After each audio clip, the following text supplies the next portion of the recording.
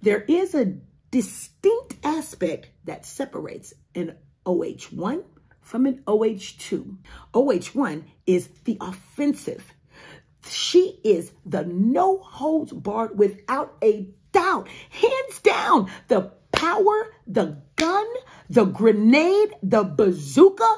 She brings the boom, baby. While the OH is bringing the boom, the O2 is the quiet storm. She is the defense, which means she must, and I mean she has to be strong in serve receive and digging and attacking. Point blank, period.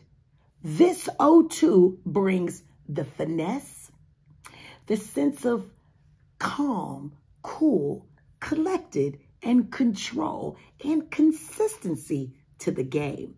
The O2 is typically the sixth rotation outside, while the O1 is typically subbed out and at the serve. Although, as volleyball continues to gain traction, more and more coaches are looking for both the OHs to remain in the game as six rotation players.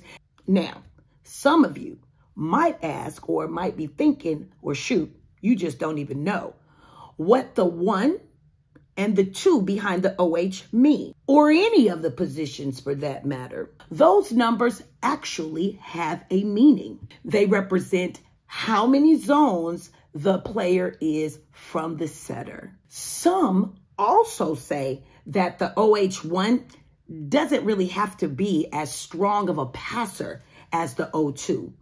But again, the game is getting further and further away from that mindset. Having both outside hitters with the ability to pass and play defense and serve receive really cuts down on the amount of substitutions a team has to make throughout a game.